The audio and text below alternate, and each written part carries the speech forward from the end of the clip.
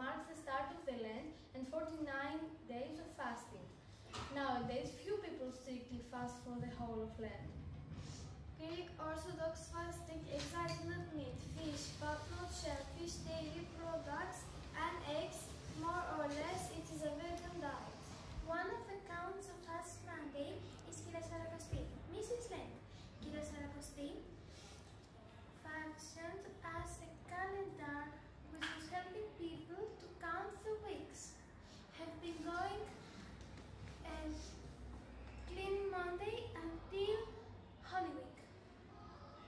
Usually it was the painting of a woman with a scarf on the head, seven legs, arms folded.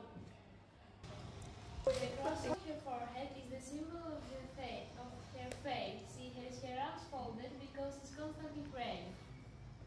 She has no mouth, not only because she fasts very old, but also to avoid gazing in any idle thought. Finally, she has no ears, or they are covered with a scarf, so as not to listen to any gossip or judging.